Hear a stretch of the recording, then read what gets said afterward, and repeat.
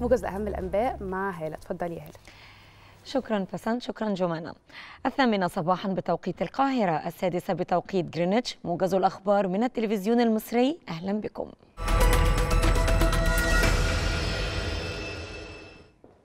أكد الرئيس عبد الفتاح السيسي أهمية الاستفادة المثلى من الأصول المملوكة للدولة بما يواكب التطورات العالمية الحديثة في مجالات الصناعة والتسويق والإدارة وذلك بالتكامل مع القطاع الخاص. جاء ذلك خلال اجتماع الرئيس السيسي مع رئيس مجلس الوزراء وعدد من الوزراء والمسؤولين. وصرح المتحدث الرسمي باسم رئاسة الجمهورية أن الاجتماع شهد متابعة الخطط الجاري تنفيذها لتحديث وتطوير قطاع الصناعة النسيجية في مصر بما يتضمن مختلف مراحل الإنتاج بداية من زراعة وتجارة القطن وصولا إلى تطوير المحالج ومصانع الغزل والنسيج.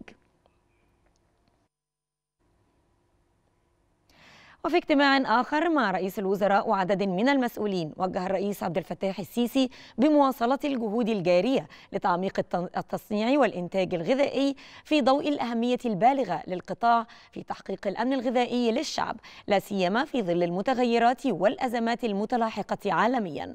وصرح المتحدث الرسمي باسم رئاسة الجمهورية بأن الاجتماع تناول الموقف التنفيذي لمجمع قها وإدفينا للصناعات الغذائية المتطورة فضلا عن متابعة سير العمل بالمدينة الصناعية الغذائية Silo Foods.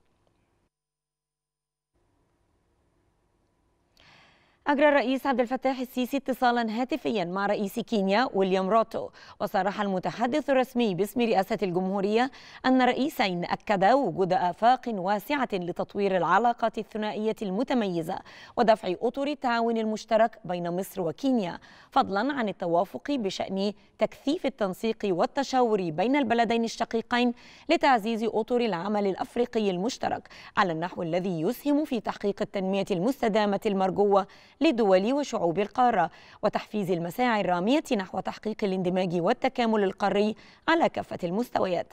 كما تناول الاتصال تبادل وجهات النظر حول القضايا الإفريقية ذات الاهتمام المشترك خاصة ما يتعلق بجهود صون السلم والأمن وتعزيز الاستقرار في القارة الإفريقية. أعلنت وزارة الصحة ارتفاع ضحايا حادث قطار قليوب إلى أربع حالات وفاة وإصابة 23 آخرين ونوهت وزارة الصحة إلى خروج 11 مصابا بعد تلقيهم العلاج اللازم وأعلنت الحكومة صرف 100 ألف جنيه لأسرة كل متوفي ومصاب بعجز كلي في حادث القطار وذلك تنفيذا لتوجيهات رئيس مجلس الوزراء مصطفى مدبولي. تعقد بمقر الأمانة العامة لجامعة الدول العربية اليوم أعمال الدورة المئة وتسعة وخمسين لمجلس الجامعة العربية على المستوى على مستوى وزراء الخارجية برئاسة مصر. ويتضمن جدول أعمال الاجتماع بنودا تتعلق بالقضايا والملفات السياسية والاقتصادية والاجتماعية وفي مقدمتها فلسطين واليمن وسوريا والعلاقات العربية مع التجمعات الإقليمية والدولية والعلاقات العربية الأفريقية كما يلقي عدد من الضيوف كلمات أمام الجلسة الافتتاحية للاجتماع.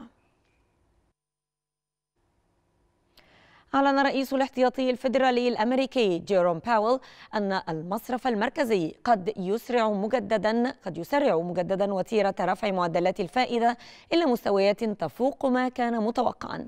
في محاولة جديدة للتصدي لتضخم لا زال معدله مرتفعا.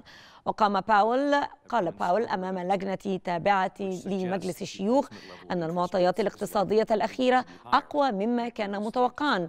مما يفترض أن يكون المستوى النهائي لمعدلات الفائدة على الأرجح أعلى من المتوقع.